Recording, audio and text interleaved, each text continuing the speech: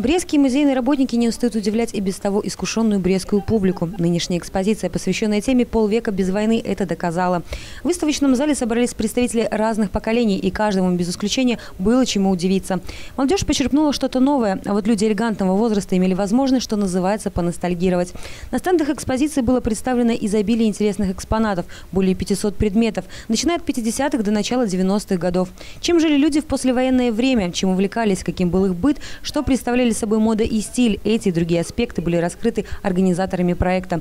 Экспозиция состояла из четырех разделов, каждый из которых был посвящен отдельной теме и охватывал определенный временной отрезок. Сложно ли делать такую выставку? Конечно, сложно, потому что э, выставка тематическая, и э, были задействованы все э, коллекции наших фондов, начиная от документальной фотоколлекции до предметов быта, графики и живописи и выбрать э, предметы, касающиеся только одного конкретного э, периода, причем ну, в масштабах общей истории это период действительно небольшой, всего э, три десятилетия, конечно, доставляет определенные трудности. Вот, но я думаю, мы с ними справились. Действительно, организаторы постарались на славу. В залах экспозиции были воссозданы фрагменты интерьеров городских квартир советского времени. Представленные экспонаты затронули и политический аспект. Все они отражали перемены, происходящие в обществе. Предметы мебели, одежда и аксессуары, аудио и видеотехника, фотографии и картины, денежные единицы, пресса, пластинки. И это лишь часть одной большой коллекции, собранной за много лет.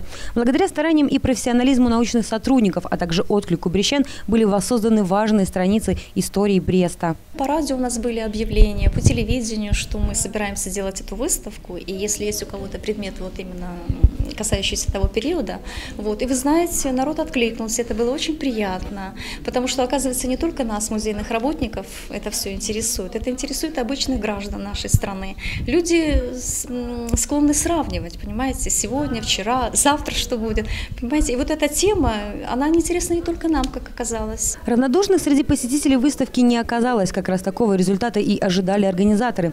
Останавливаться на это научные сотрудники не планируют. Напротив, в перспективе при умножении коллекции. В том, что среди брещан окажутся те, кто поддержит такую инициативу, музейщики не сомневаются. Теплая волна воспоминаний нахлынула на меня, когда я увидел пионерский барабан, букварь, эмблему фестивалей молодежи студентов в Москве 1957 года. Меня трогает то, что здесь выставлены граммофонные пластинки, живопись 50-х годов, фотографии. Я узнаю многих людей.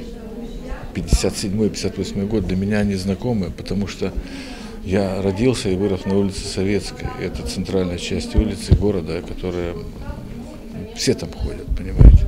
И как художник я очарован